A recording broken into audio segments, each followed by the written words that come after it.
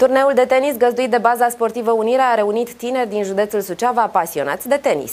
La finalul turneului, câștigătorii sunt recompensați cu diplome, trofee și accesorii specifice tenisului. Majoritatea tinerilor participanți sunt practicanți de tenis de la clubul Select. Competiția este organizată de Colegiul Tehnic Alexandru Iancuza în parteneriat cu Direcția Județeană pentru Tineret și Sport, Școala Gimnazială Miron Costin și Asociația Județeană de Tenis Suceava. Întrecerea găzduiește copii din județ și este considerată cea mai bună acțiune din cadrul săptămânii săptămânii școala altfel. Tocmai a început ediția 5 a turneului Cuza Open. Este primul turneu uh, din anul acesta care deschide practic sezonul de, de tenis.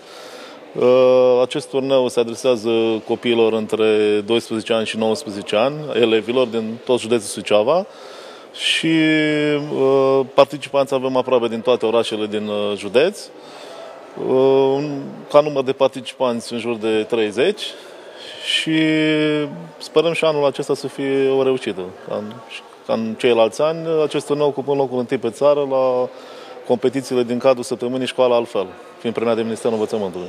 Acest turneu uh, va dura până miercuri și sunt două tablouri, uh, unul de fete, unul de băieți și se va juca la Sala Unirea și la colegiul, nu, la Școala Generală Miron Costin uh, din Burdujeni.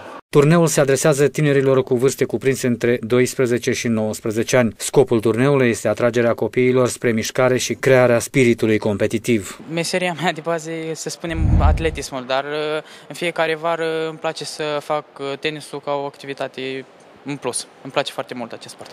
Cam câte ore te antrenezi pe zi? În jur de 4-5 ori pe săptămână. Cum te vezi peste 10 ani în această carieră? Pot spune că am visuri mari, măreții, dar trebuie luat tot cu tot, încet cu încetul, fiindcă alții s-au apucat de tenis de la vârsta de 4-5 ani și eu am o vârstă destul de înaintată, dar sperăm că va fi bine. Cu ajutorul antrenorilor, sper să fie bine.